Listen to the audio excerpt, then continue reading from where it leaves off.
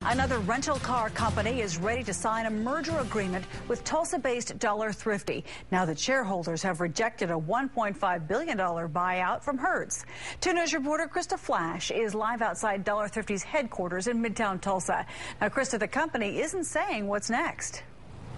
Karen Dollar Thrifty CEO said in a press release that they will evaluate all options, but he didn't give any details of what those options are.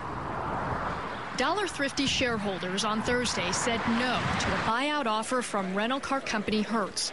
Many believe the merger would have eliminated 1,200 jobs in Tulsa and Northeast Oklahoma.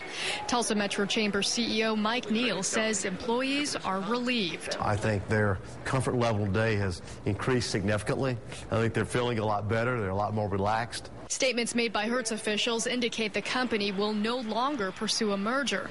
Industry leaders say Dollar Thrifty now has two options remain a standalone company or look into another buyout offer from rental car company Avis, which the chamber views more favorably than a deal with Hertz. We think really that if an Avis acquisition would take place, that the majority of the Dollar Thrifty jobs would remain uh, and, and, and that there would be a chance that they could potentially bring more jobs here from other parts of the country.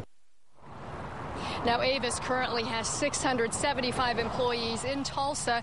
No word when a formal offer will be made. Live in Midtown Tulsa, Krista Flash, 2 News works for you.